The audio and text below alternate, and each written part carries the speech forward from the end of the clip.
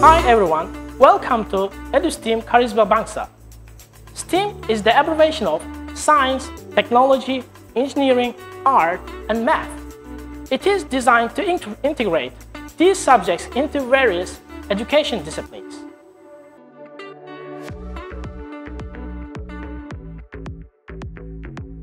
These programs aim to teach students innovation, to think critically and use engineering or technology in the imaginative design or creative approach about the real-world problems while building on students' math and science base.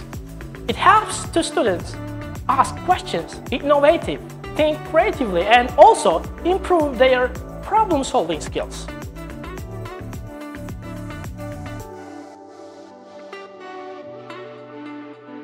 Kharisma School presents EduSTEAM as the best practice for integrated education across subject areas which is focused on project-based learning.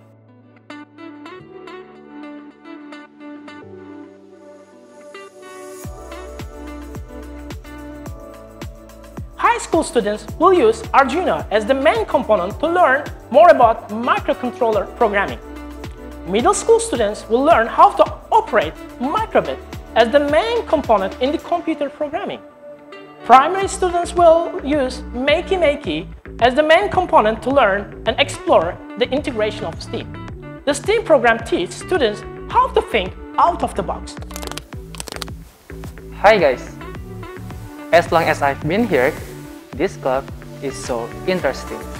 In EduSTEAM, we learn how to create our imaginative concept to the project like robotics, and then like this and any other interactive project.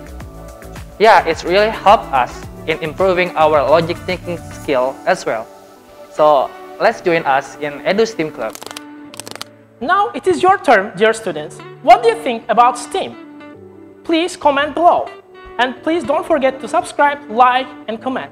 Bye-bye.